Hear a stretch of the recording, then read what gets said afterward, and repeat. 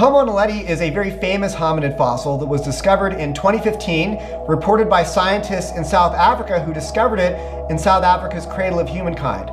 One of the most exciting things about Homo naledi is the sheer number of bones that were found in the cave. Literally hundreds, if not over a thousand bones were found. Now the initial excitement among the evolutionary community was they hoped that Homo naledi would be this two to three million year old fossil that would fit right in the zone evolutionary anthropologists believe that the genus Homo was evolving from the ape-like Australopithecines. But when they first reported Homo naledi, they had no actual geological age or date of the fossil. So they just assumed that it was two to three million years old. Well then, in 2017, they finally came out with an actual geological age for Homo naledi, and it was a real bust for the evolutionary viewpoint.